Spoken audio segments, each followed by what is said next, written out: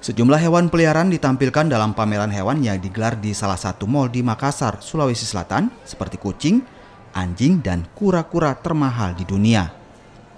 Kura-kura yang diberi nama Aldabra ini berasal dari Afrika yang memiliki panjang 40 cm dan diperkirakan memiliki umur mencapai 200 tahun.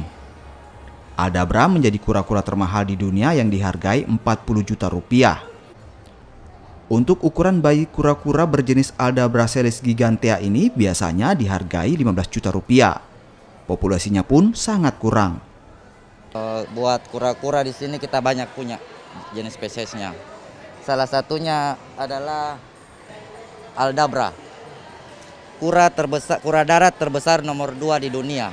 Dia dari Afrika. Buat sekarang ini 1,3 meter ya buat buat e, cara peliharanya dari kecil hingga besar itu pagi kita harus rendam dan jemur agar kita mengeluarkan pupnya kan supaya apa kayak nggak ada penyakit di dalam badannya itu buat makanannya sendiri juga kita pakai repkal buah sayuran itu aja pak Pameran hewan unik dan langka yang digelar ini sebagai bentuk kepedulian terhadap hewan yang terkadang tidak terurus. Jadi kegiatan animal ini merupakan basar pet dan makanan yang diadakan oleh event organizer saya, LV Project, secara rutin tiap tahunnya.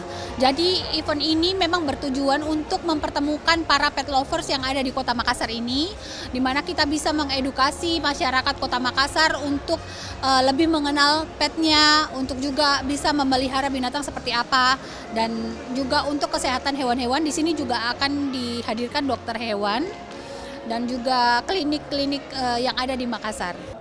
Nah, bagi Anda pecinta berbagai jenis binatang dan ingin melihat kura-kura termahal di dunia, Anda bisa mengunjungi pameran ini yang berlangsung hingga 16 Oktober 2022. Rama Pratama, Kompas TV.